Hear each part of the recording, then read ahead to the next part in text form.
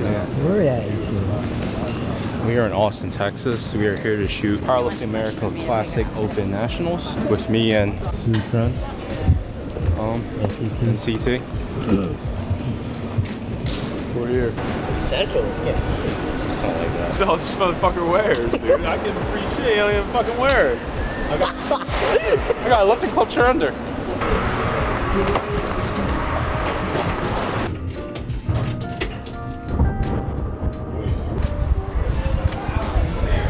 Came down to go to Pluckers, honestly. That's why I'm here for this moment.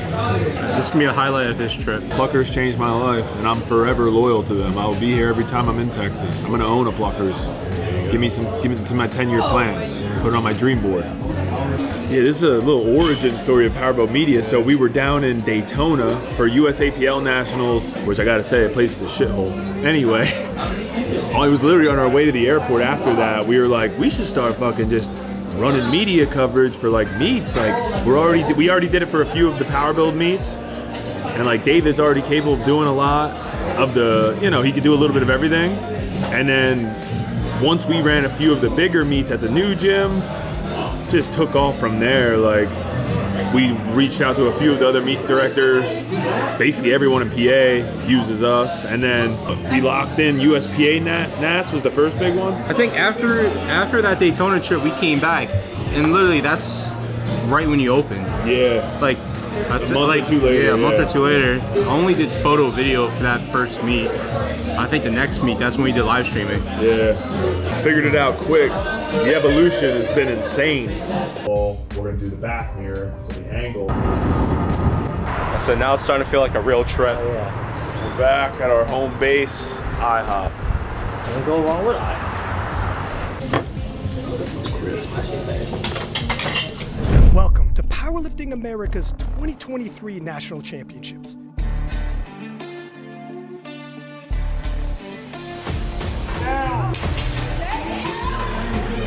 And up next, Kate Cohen.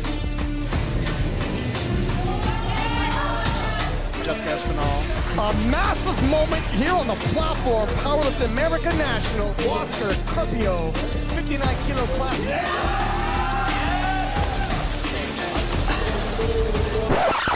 All right, guys. So we have an interesting meet recap for you today. First meet I've ever been kicked out of in 10 years of coaching in every powerlifting federation, just about every powerlifting federation. And it's not even for anything fun and exciting like choke slamming one of these other dweeby coaches in there. So apparently, you know, it's an IPF meet. This is Powerlifting America Nationals, so it is under IPF criteria. And with me having clients, you know, that compete in every Fed, I've coached recently at a USAPL meet. So literally, as soon as I walked into the warmer room, within like five minutes, president of Powerlifting America came out to me and uh, informed me that I had a Article 14 violation. We're talking about powerlifting here, guys. An Article 14 violation. I literally thought he was trolling me. Um, but basically, yeah. So with me coaching in the USAPL meet, with this being an IPF level meet in Powerlifting America, I wasn't able to be in the warm-up room at all. So I literally couldn't coach. So literally flew down last night with these guys, Thursday night, to only coach Friday. I'm literally flying out in less than like 12 hours, and uh, I couldn't even be in the warm-up room. So I just flew down here to spectate. Um, it wasn't Heather's best day. She's had a lot of things outside of lifting that have, you know, had an impact on the prep. Um, you know, some health things. She didn't come in with an awesome prep, an awesome peak. It just is what it is. Sometimes health issues come up, and the timing's not great. It is what it is. She still showed up, put on a hell of a show, literally maximized the day. Um, still had a great squat, still had a good bench, still had a big deadlift, of course. Um, ended up coming in second. Uh, another girl had a really, a really good day, and uh, I think outtotaled her by six kilos, something like that. Just barely edged her out, and she honestly had like her best day ever, breaking some uh, American records. So, you know, if Heather comes in even 95%, she wins. Um, I've, you know, maybe I'm a little biased, but I'm just being honest. Like she was probably 80% today. If she comes in 95%, she could have easily just pulled for the win. Yeah, it is what it is. Sometimes things come up you don't always get um, to have a perfect peak, a perfect meet. and there's a lot of variables that go into it. So, um, interesting trip so far, to say the least, for myself.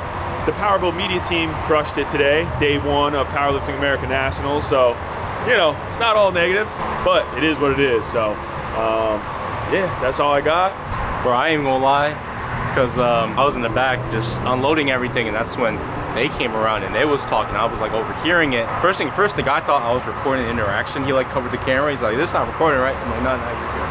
I should have, but um, when when I heard Article 14, I'm like, I, th- I thought it was like something like popped up in your background check, like you got like a hidden assault charge or some shit.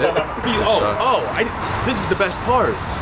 So, it's not like something popped up in their database and is like, Collin Whitney coached at this meet. The reason they found out is because one of the other coaches that was literally in the warm up room literally snitched on me. Again, guys, we're talking about powerlifting here. One of the other coaches went out of his way, his or her way, it was definitely a his. We're going to find out who it is, don't worry. But went out of his way to go up to the refs, the president of the federation, and let them know that I coached at a USAPL. They literally took time to go snitch on me about something so dumb, telling them that I was helping another client at another meet in a different federation.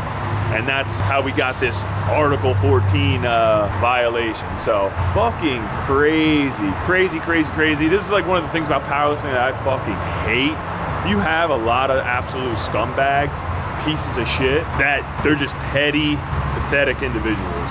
So it is what it is.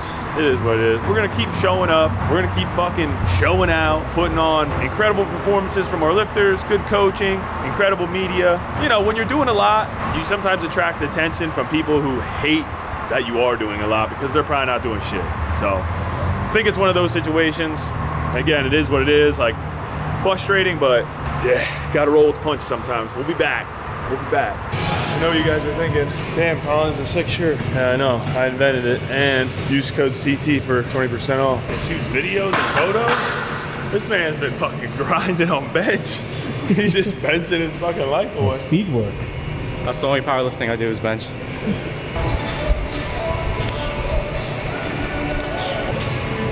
Yep, back. Good. Cannons.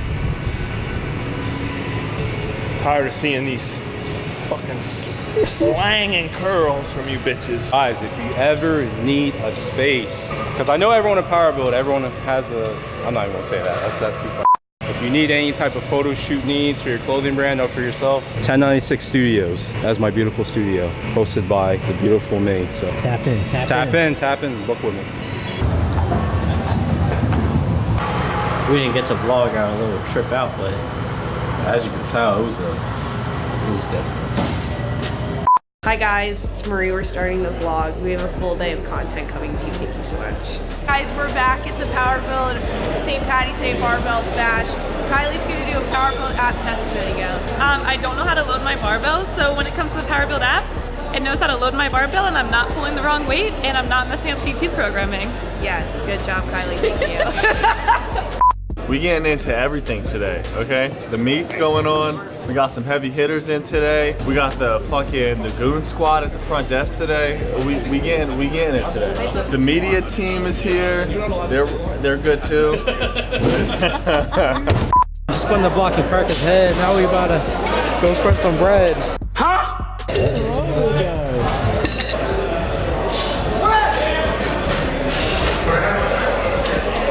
Do you know what rush hour is? like, four o'clock? huh? What? She don't know what rush hour is. Now I got a cracker in the head because now she a fan.